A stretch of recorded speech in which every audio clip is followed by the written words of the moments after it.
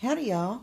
I thought I'd share another quick tip with you uh, for flea control. So, um, when I'm washing, yeah, I took that off. When I'm washing um, my bathroom rugs, I have all my bathroom rugs here from both bathrooms, and I pour a little, get a little water drawn up in here, and then I add some of their flea shampoo, just right down there, like I would detergent and then I put their, I mean, I put the uh, bathroom rugs in there and I do a load of clothes with flea shampoo instead of detergent because they love to hang out on these rugs.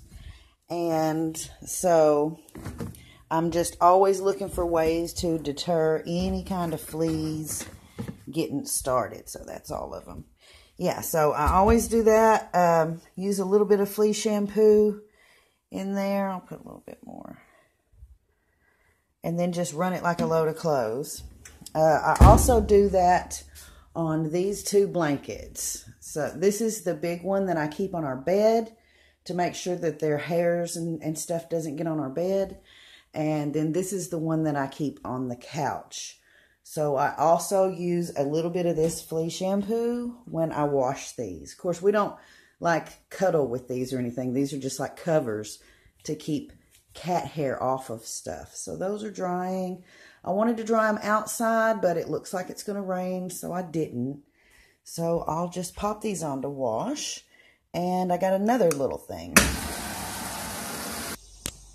So when I was at town today, I got some more stuff for the yard. And this is Eliminator brand ant flea and tick granules. And I got two big bags of it. They were um, 20 something dollars a piece, I think. And it, it says it covers 16,000 square feet. But once you put this thing in the little distributor and start pushing it around, it doesn't cover much ground. And we need to do it under the porch a lot. So we got those to make sure there's no fleas. Howard is upset because he can't go outside. While we're doing flea control, we're not going to go outside and bring in new fleas. He doesn't like that. But while I'm keeping him in for a few days, we're going to treat the yard with that stuff. It won't kill you, Howard. It really won't. You can stay in for two or three days. It's not so bad.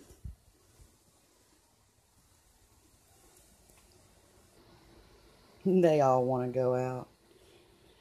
But they'll have plenty to do when the new kitten comes.